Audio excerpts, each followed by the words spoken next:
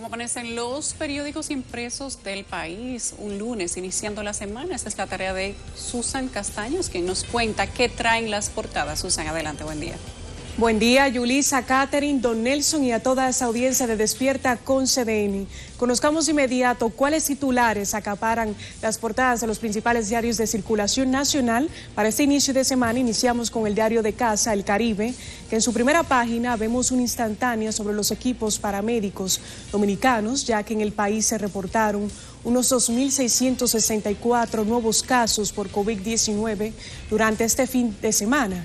En el titular principal encontramos que el gobierno asume una deuda de 2.780 millones de pesos para evitar el alza de los combustibles.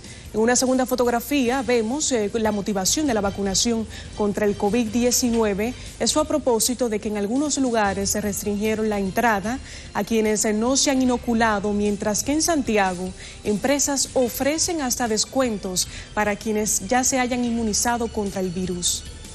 Pasemos rápidamente a la portada de Diario Libre, que tiene como titular principal, República Dominicana supera los 5.1 millones de personas vacunadas contra el COVID-19. En su fotografía central advierte que debido a la pandemia, la deserción escolar puede llegar hasta un 18%. En cuanto al robo de los cables del AILA, encontramos el siguiente titular. Aerodón CESAC es responsable de la seguridad. Pasemos rápidamente al periódico El Día que recoge el club Mauricio Báez, que se corona como campeón de básquet de este distrito nacional. En un segundo titular encontramos que la DGII recauda en mayo el 118% de lo previsto. También reseña que el gobierno dominicano repudie el arresto de dos candidatos en Nicaragua. Conozcamos de inmediato las agendas, eh, las actividades con cobertura periodística y a las 9 se tiene previsto una rueda de prensa del Comité de Defensa de los afectados por la presa Río Jaina en la calle Elvira de Mendoza número 253. A las 10 otra rueda de prensa, pero esta vez de la Federación de Fundaciones Patrióticas en el CDP.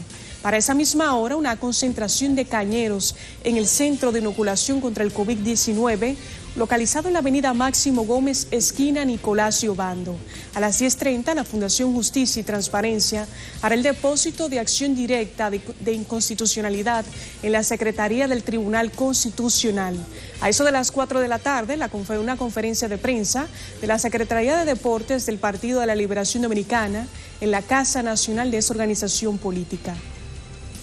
Finalizamos rápidamente con un toque de humor y es con respecto a la caricatura del periódico de esta casa. Ahí la vemos en pantalla.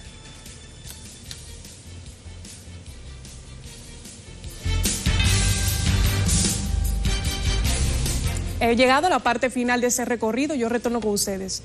Gracias, Susan, que tengas buen día y feliz inicio de semana. Vamos al tiempo.